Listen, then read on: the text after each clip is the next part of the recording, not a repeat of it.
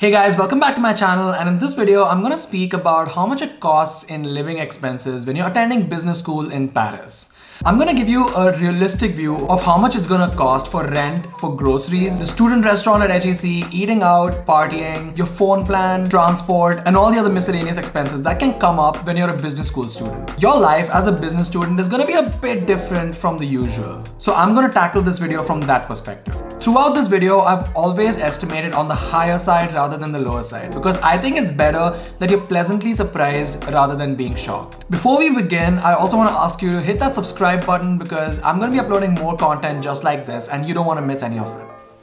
Alright, now let's talk about your monthly expenses when you're at HEC. Your biggest single expense every month will be your rent. At HEC, if you take a studio on the student residence on campus, the rent is somewhere around 600 euros a month. And this is what I personally recommend, at least for your first year. However, as you're a student, you can avail this benefit called CAF, which is a rental subsidy that's offered by the French government. The subsidy amount can vary on different factors and also a little bit on your luck, but on average, you can get about 30% of your rent back every month. But it's important to know that you shouldn't depend on getting this money quickly because it can take a couple of months for it to be processed and for it to actually show up in your account. But you will get it eventually. Alright, so for our sample budget, I'm gonna take 400 euros every month for rent after accounting for the CAF money, even though you won't get it initially. Your second expense is on food and groceries. In 2018 and 2019, the average cost of a meal at the HEC student restaurant, or the RU as we call it, was around 5 euros. Now, you're probably gonna realize that you're not gonna wanna eat all of your lunches and dinners there. But if you did, you would be spending somewhere between 200 and 250 euros a month on the RU alone. Now, on the other hand, if you plan to cook all of your meals, things might look a little bit different. And this depends on what you cook and what you like to eat. Right now, I'm living and working at home during my gap year and I spend somewhere around 200 euros a month on groceries. And I cook all of my meals at home.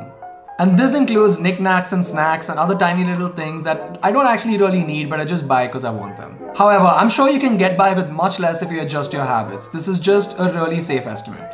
Or you can even manage to spend more if you really wanted to.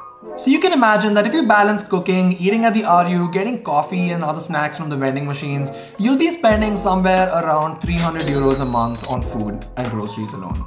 I think that's a really safe estimate, probably again on the higher side, but that's what I'm gonna take for our sample budget. Eating out is another place that you'll be spending a bunch of your money every month. The cost of eating out in Paris really largely depends on where you're eating and what you're eating, but in general, it costs around 12 to 15 euros for a meal. And it can be a bit more if you take a drink or a dessert. If you consider that you're gonna be eating out twice a week, probably on the weekends, that'll cost you somewhere around 120 euros a month. And that's what I'm gonna take for our sample budget for this exercise. And of course, you can adjust this for what you think you'll be doing. Partying and going out. This is something that you should definitely add to your budget even if you don't drink because I think this is a major part of the HEC life. Just to give you a lowdown, an entry into the party of the week costs 15 euros, but as an international student, you're probably not going to be attending a lot of those. A beer at the campus bar costs around 2 euros. However, most of the parties are organized by the students themselves, whether it's in the residences or outside at the lake. And these are more of a BYOB situation. If you go out partying in Paris, it's obviously gonna cost you a lot more including food, drink, and a shared Uber because HEC is in the middle of nowhere and you're gonna need those to get back home. You can probably end up spending 30 to 40 euros every time you go out at the minimum. But since I never did this that much, I really can't say for sure. For the purpose of our sample budget, I'm gonna assume that you party on the campus and I'm gonna take between 20 to 40 euros every month for this. Of course, depending on how much you drink or even lower if you don't. The next part is transport. So as a student under the age of 27, you're eligible for a Navigo Imagine R card. And as an HEC student, you've got two options, getting a Navigo or not. If you don't get a Navigo, you'll be paying close to 5 euros each way from HEC to Paris. And once you're in Paris, you'll be paying 1 euro 90 for every trip you take. If you do get a Navigo, it'll be about 350 euros for the entire year. And you can travel as much as you want without paying anything more. It's also far more convenient because then you just have a card that you just have to swipe every time you use the train and you don't have to bother with buying paper tickets every time and managing them. 350 euros a year comes down to about 30 euros a month. Aside from the 30 euros every month that you're gonna spend on your Navigo, you're also gonna spend money on the bus shuttles that take you from HEC to Paris because they're much quicker and a lot of your friends will probably want to use them. Then there are Ubers that you might end up taking every now and then especially if you're returning late at night from Paris. So all things considered, for our sample budget, I'm gonna take 50 euros every month for transport. So the next one is your phone plan.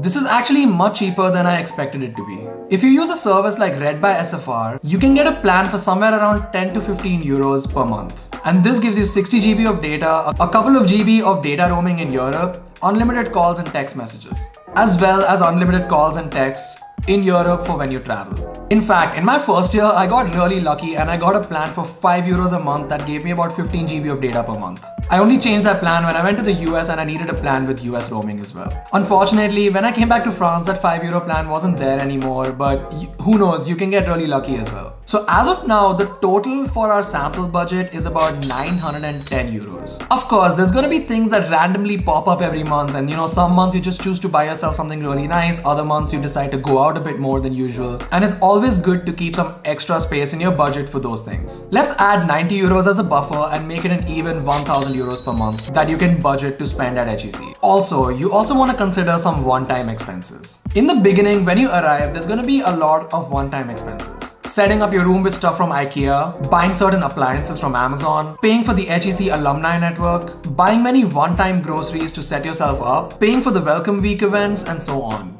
In the beginning, you're also more likely to go out a lot more to meet and connect with other people. You'll also be super excited to go into Paris and roam around with your newfound friends. All of these things are gonna cost you, and not to mention that your Navigo, if you choose to take one, is going to take some time to arrive and until then you'll be paying a la carte for every trip that you take into Paris. I would set aside around 1000 euros for these one-time expenses. Now, something that a lot of people ask me about is part-time jobs. Honestly, I don't think you should depend on it. The HEC course is really, really demanding and then finding internships and other opportunities is a full-time job in itself and you don't really want anything to distract you. You simply won't have the time to do part-time jobs when you're at HEC. And this is not to mention that HEC is in the middle of nowhere and there aren't that many opportunities to begin with. Alright, so to sum up once again, I would set aside a realistic budget of around 1000 euros every month for living expenses when you're at HEC. You can definitely do it cheaper, but I've kind of overestimated the amount so that you're not shocked and you're more pleasantly surprised instead. Of course, this amount will go up or down depending on what your own personal lifestyle is. And you also want to keep a one-time setup budget of around 1000 euros for when you arrive. There you go guys, I hope this video gave you a very thorough and comprehensive view of how much it costs to live on campus at HEC. If you like this video, go ahead give it a thumbs up